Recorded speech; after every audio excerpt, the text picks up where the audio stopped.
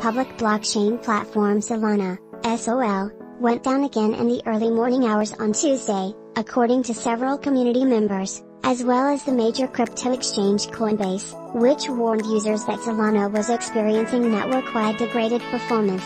Reportedly, an attacker used spam.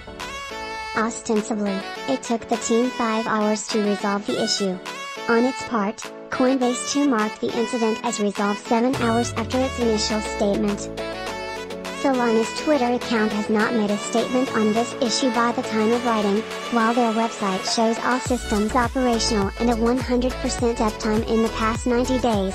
Solana, released in April 2019 and known as an Ethereum killer, has a low fee of 0 US dollars. 0.00025 per transaction and is capable of processing an average of 2,000 transactions per second. However, this low fee has proven to attract bad actors who overwhelm the network with hundreds of thousands of transactions at a considerably low price.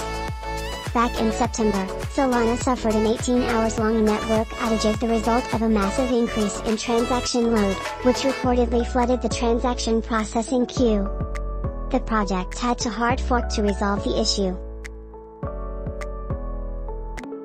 At the time, the CEO of Solana Labs, Anatoly Yakovenko, acknowledged that the issue was caused by bot trading, adding, better now than when it's a billion users.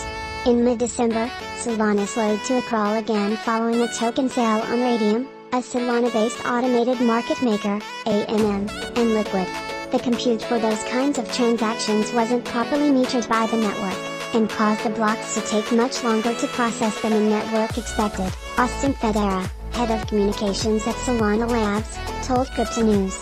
Com at the time.